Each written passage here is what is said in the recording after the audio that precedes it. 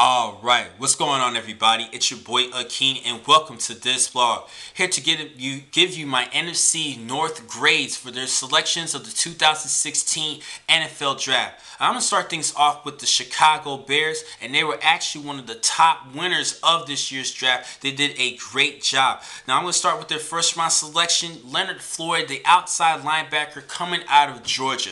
This was a great pick. He's six foot five, 244 pounds, and he is a gifted athlete. He reminds me a little bit of Ziggy Ansah from the Detroit Lions. I think he could be a pretty good pass rusher and disrupt the line of scrimmage, getting behind the line of scrimmage. In the second round, they picked up one of the top guards entering this year's draft and Cody Whitehair out of Kansas State. I did like this selection.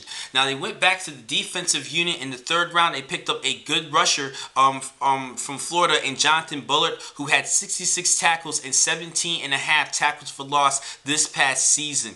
And in the fourth round, they went with an inside linebacker out of West Virginia and Nick. He definitely had a great career, over 300 tackles during his course of his career as a Mountaineer. In the fourth round, this was the only one um, pick that I was not really impressed with. Deon Bush out of uh, Miami, a safety. I think it was a, a, an okay selection at best. And sticking in the fourth round, they went with DeAndre Hall, the cornerback out of Northern Iowa. I think this was a pretty good selection. A player out of the FCS FCS division. And in the fifth round, they went with Jordan Howard, the running back coming out of Indiana. Now he's going to be working, collaborating with a fellow Big Ten runner, and um. Jeremy Langford. Jeremy Langford actually had a couple of great games last season to replace Matt Forte when Forte was injured. In the sixth round, they picked up, I believe, a better safety out of William and Mary and DeAndre Houston. Car, uh, DeAndre Houston Carson. He actually has actually more um, pass breakups and interceptions compared to uh, Deon Bush. And lastly, they picked up Daniel Braverman, the wide receiver coming out of Western Michigan. Now, he's actually coming off of a great season, 108 receptions for over 1,300 yards receiving and 13 rece receptions for touchdowns. Now, he's definitely was overshadowed by Corey Davis, but Braverman can be like a little bit of a Wes Welker guy and work his way into the starting lineup for the Bears offense. Now, overall for the Chicago Bears, I like their picks. I'm going to give them an A minus. Next up, the Detroit Lions. They had an okay draft this past season. Start with their first round pick. They picked up Taylor Decker, the uh, offensive tackle coming out of Ohio State. They're looking to protect um, Matthew Stafford and even try to find a way to develop a good ground attack with Ameer Abdullah leading the, um, leading the way and running the football. In the second round, they picked up Bijan Robinson, the um, defensive tackle coming out of Alabama. Him and Reed was a great combo fit in the interior line for the Crimson Tide to help them win a national championship. In the third round, they picked up Graham Glasgow, a good center slash guard out of Michigan. Fourth round, they picked up Miles Killebrew out of Southern Utah, another pl player from, from Southern Utah, a good gifted player uh, from the secondary. 233 uh, career tackles uh, uh, over the last two seasons. I apologize with uh, 14 pass breakups and three interceptions. It shows that he could give you some good run support as well as cover, skills as well. In the fifth round, they picked up a guard, uh, Joe Dahl out of uh, Washington State. I think this was a pretty good selection. Sticking in the fifth round, they picked up Antwione Williams, the inside linebacker coming out of Southern, um, Georgia Southern. He had 107 tackles this past season. In the sixth round, they had three selections, starting with quarterback Jake Rudock out of uh, uh, Michigan. I think this was a pretty good selection and okay.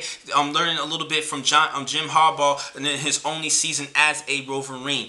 And next up in the sixth round, Anthony um, Zettel. He's a defensive end coming out of Penn State. Now, at first, he was the guy in the in the defensive line from Penn State that I was looking at entering this year's draft until Carlton Nassib came out of nowhere and had a great um, campaign this past season, getting um defensive player of the year in the Big Ten honors. But Zettel is still a great player. Over the um, last couple seasons, he had uh, 28 tackles for loss and 12 sacks.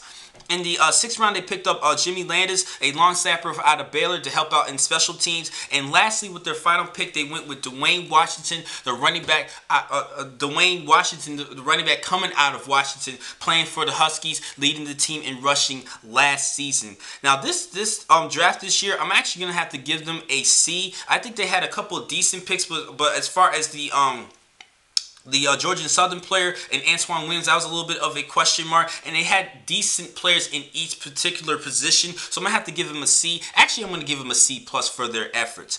Next up, the Green Bay Packers. They had, I believe, six selections overall. In their first round, they picked up Kenny Clark, a stellar defensive tackle out of UCLA. He's 6'2", 314 pounds, and my man can move. He actually had 75 tackles, 11 tackles for loss last season, and six sacks. In the second round, they picked up Jason Spriggs, an offensive tackle out of Indiana. Definitely well deserved in the second round.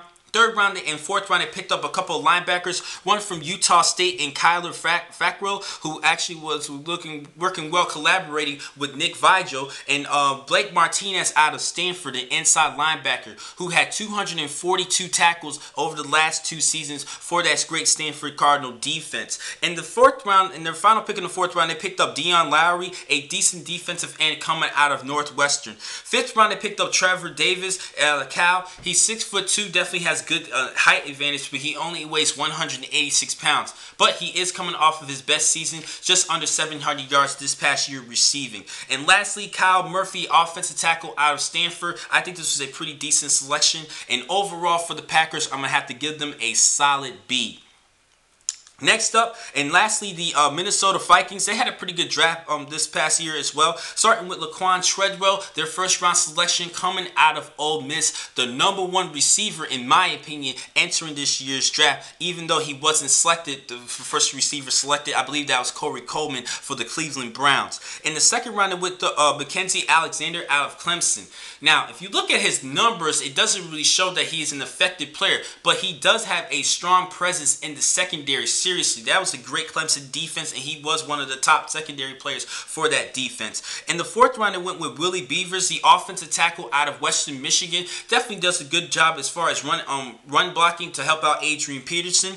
In the fifth round, they picked up Kendall Brothers out of uh, Missouri. He's definitely was a good performer in the SEC conference over the last couple of seasons. And in the sixth round, they had two selections. One player, uh, Moritz uh, Bohringer out of Germany. Didn't really see too much about him. Didn't really agree with him, but I did look him up a little bit. He did have he is a, a pretty good player, but I don't really think he should have been selected. And finally, David Morgan, the tight end out of um, Texas San Antonio, who had over 500 yards receiving at in his senior campaign. I think this was a pretty good selection late in the at the end of the draft. Now for the Minnesota Vikings, minus the Moritz selection, I'm gonna have to give them a B minus.